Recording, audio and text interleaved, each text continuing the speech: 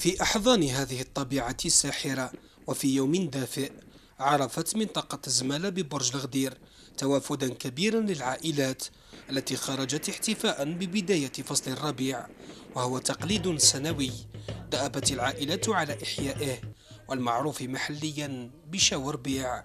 ما نقولوا له حنا شاور ربيع يخدموا فيه المبرجة يخدموا فيه المقروط يخدموا فيه وتخرج فيه الناس تتلاقى وكل هنا وخاصة في القرية تاعنا تاع الزمالة مشهورة بال بالسياحة. بالسياحة مشهورة بها.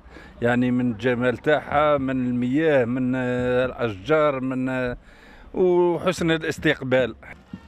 في أجواء نزهة ومرح اغتنمت العائلات المناسبة للاسترخاء والتمتع بالطبيعة.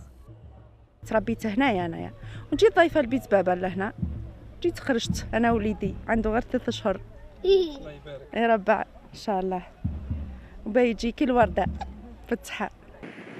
شاور بيع مناسبة اجتماعية تحافظ عليها العائلات وتقليد قديم يعبر عن العلاقة الوثيقة للإنسان بأرضه وفرحه بفصل تجود فيه الطبيعة بخيراتها.